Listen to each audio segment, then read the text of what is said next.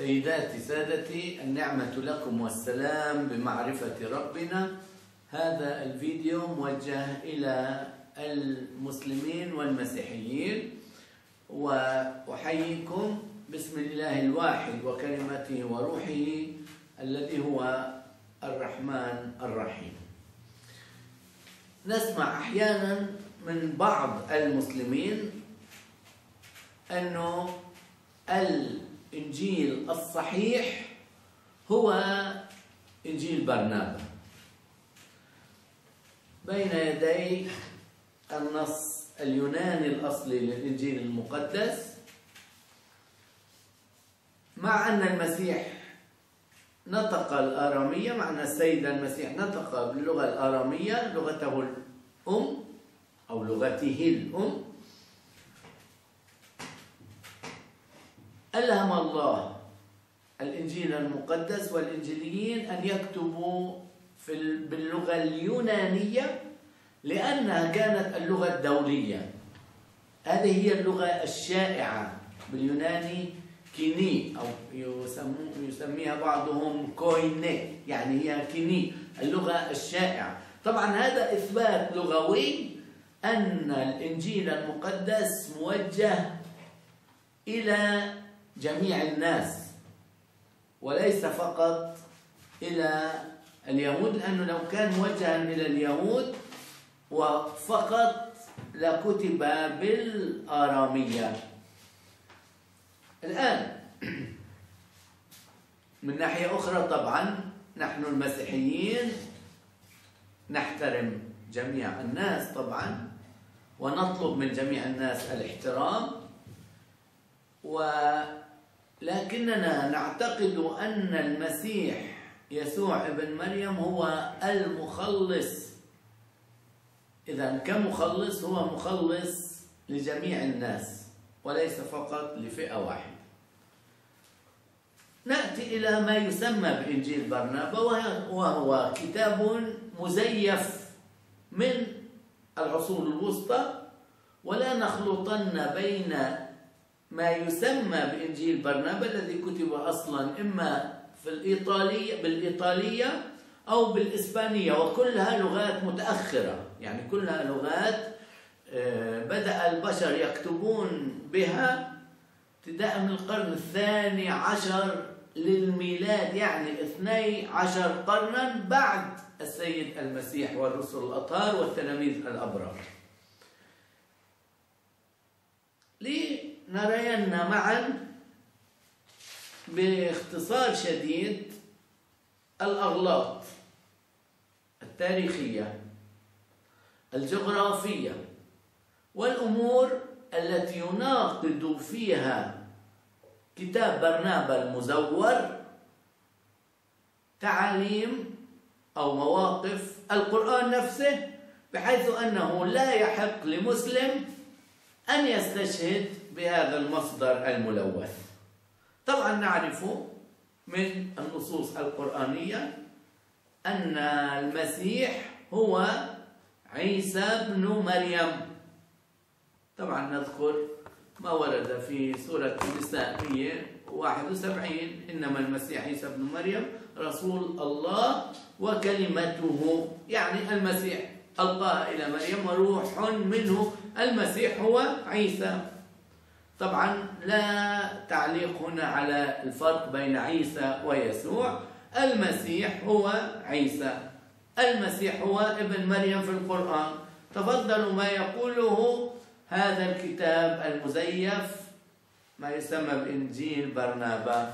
تفضلوا ممكن أن نقرأ النص معا. فاعترف يسوع وقال الحق إني لست مسيا. مسيا يعني لست المسيح. فقالوا أأنت إيليا أو إرميا أو أحد الأنبياء القدماء؟ أجاب يسوع لا. حينئذ قالوا من أنت؟ قل لنشهد للذين أرسلونا. فقال حينئذ يسوع أنا صوت صارخ في اليهودية كلها.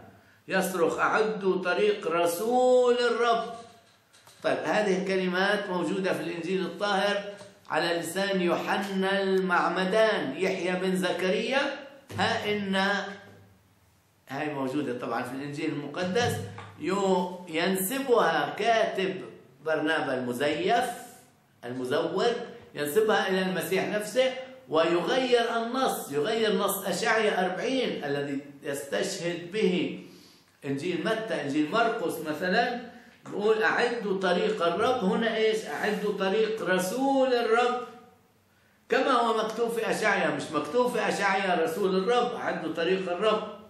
قالوا إن لم تكن المسيح ولا إيليا أو نبيا فلماذا تبشر بتعليم جديد وتجعل نفسك أعظم شأنا من مسيا أجاب يسوع إن الآيات التي يفعلها الله على يدي تظهر أني أتكلم بما يريد الله. طيب معناها هون في آيات يفعلها المسيح. طبعا في في النصوص القرآنية أيضا المسيح عيسى ابن مريم يأتي بالآيات وأيدنا وأتينا عيسى ابن مريم البينات وأيدناه بروح القدس. ولست أحسب نفسي نظير الذي تقولون عنه. لأني لست أهلا أن أحل رباطات جرموق أو سيور حذاء رسول الله ويقصد محمدا. طب هذا كلام؟ قاله يوحنا يحيى بن زكريا عن المسيح نفسه. الذي تسمونه مسيا. الذي تسمونه مسيا. يعني إنه رسول الله أي محمد هو مسيا هو المسيح. طبعا كلام فارغ. الذي خلق قبلي وسيأتي بعدي أو سيأتي بكلام الحق ولا يكون لديه نهاية. هاي إذن هاي غلطة طبعا مرفوضة إسلاميا. آه، يناقض كتاب برنابا المزيف القرآن حيث هنالك إمكانية تعدد زوجات بشروط ويكتب بالحرف الواحد فليقنعن الرجل إنسان بالمرأة التي أعطاها إياه الله ولينسين أية امرأة أخرى.